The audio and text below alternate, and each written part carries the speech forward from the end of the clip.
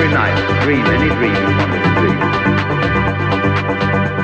And that you could, for example, have the power within one night to dream 75 years of time. Or any length of time you wanted to have. And you would naturally, as you began on this adventure of dreams, you would fulfill all your wishes. You would have every kind of